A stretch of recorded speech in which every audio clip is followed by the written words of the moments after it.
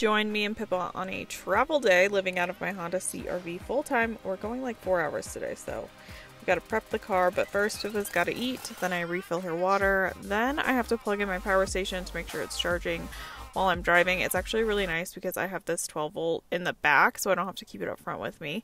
And then Pippa silently judges me while I get the car ready. It's not drivable. Now it is, and everything's cleaned up. Now I got a shower for sure.